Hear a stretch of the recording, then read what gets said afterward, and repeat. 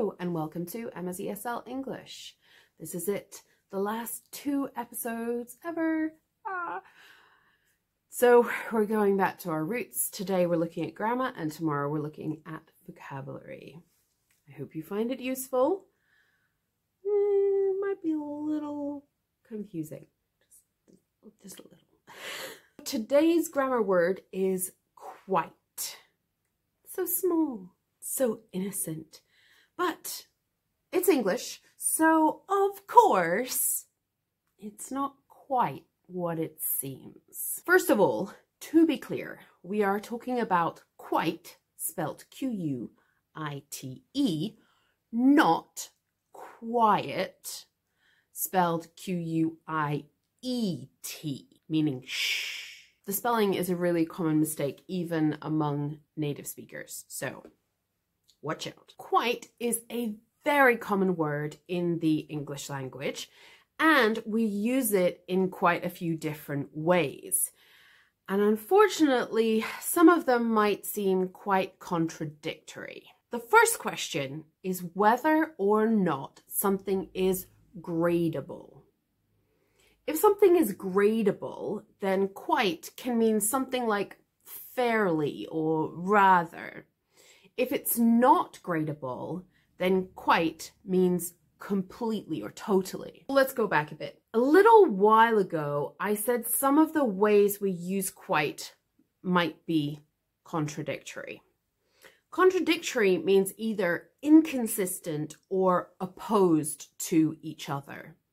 And it's possible for something to be a little contradictory or extremely contradictory or anything in between. So contradictory is gradable.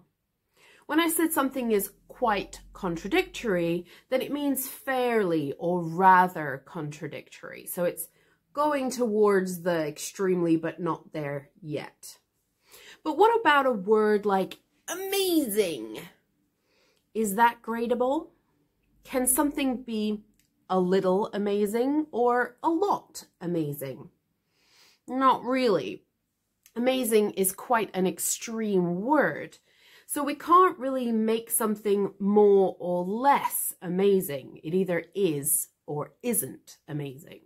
So if someone says she's quite amazing, then they're reinforcing that extreme word.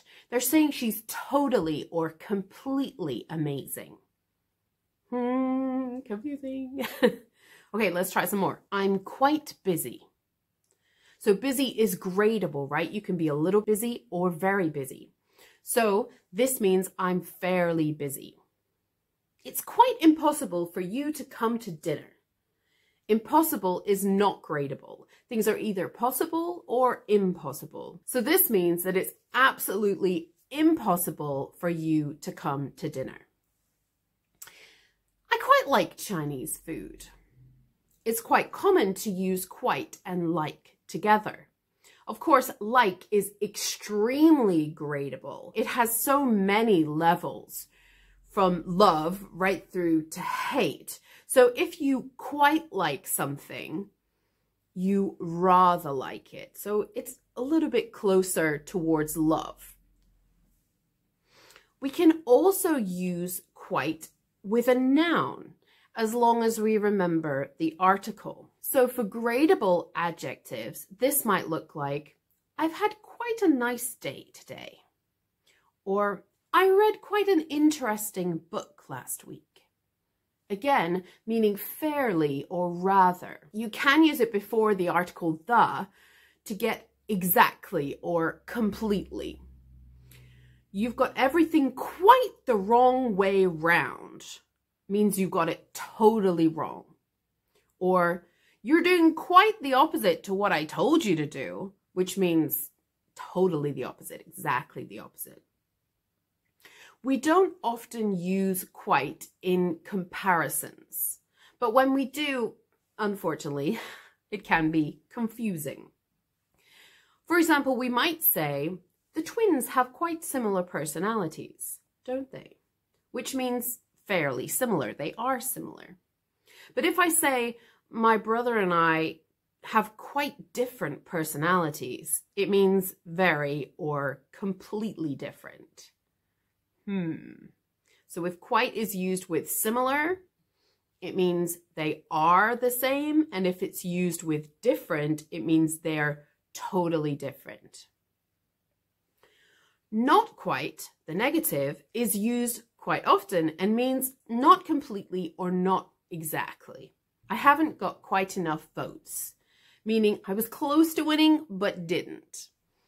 Or she's not quite ready, meaning she's almost ready, close to being ready, but she's not yet. We do sometimes use quite to soften something and make it more polite. He's quite angry, isn't he?